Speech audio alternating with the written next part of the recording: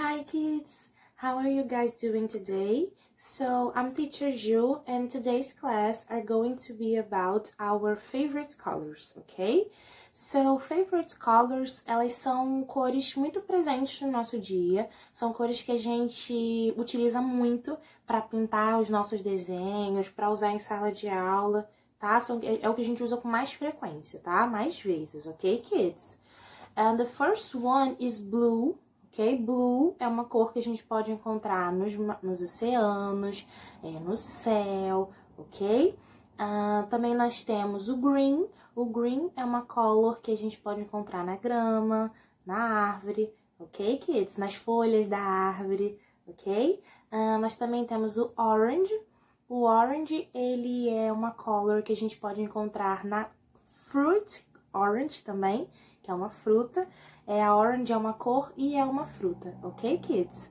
Uh, nós também podemos encontrar em roupas, desenhos, em várias outras coisas, tá? Até material escolar também a gente pode encontrar o orange, ok? Nós também temos o red. O red é uma color, essa color aqui, ó, que tá na faixa da teacher, ok? É a color da maçã, é a color de vários objetos, de vários objects, ok? Um, também essa aqui, ó, que tá na, na blusa da, na t-shirt da teacher, é red, ok, kids? Uh, nós também temos uh, purple. Purple também é uma color que é muito presente na fruta, na uva. É muito presente na, na fruta uva, né, que a gente chama em inglês de grapes, ok, kids?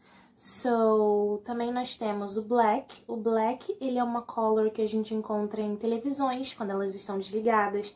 A gente também pode encontrar em impressoras, aquela, aqueles objetos que você ficam na sua casa, então que tem na lan house para você imprimir, desenhos para pintar, é muito legal. Então, também nós temos o pink.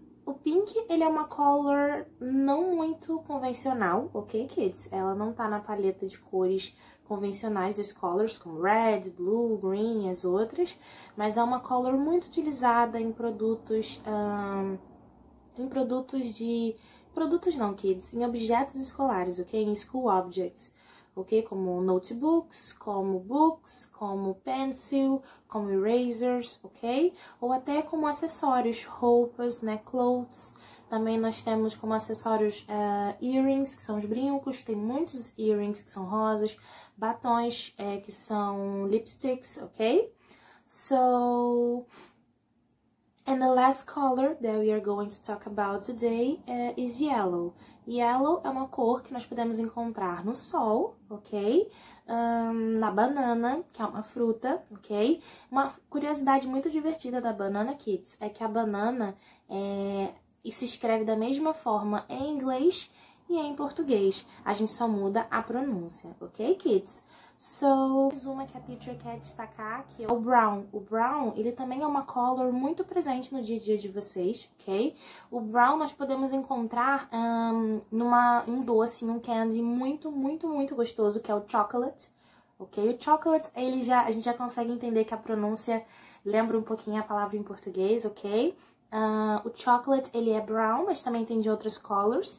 Uh, o que é brown também é a terra, ok? É o tronco da árvore, ok, kids? E muitos outros objetos, até os objetos escolares. So, that's it for today. I hope you guys liked our class. See you guys next week. Bye bye.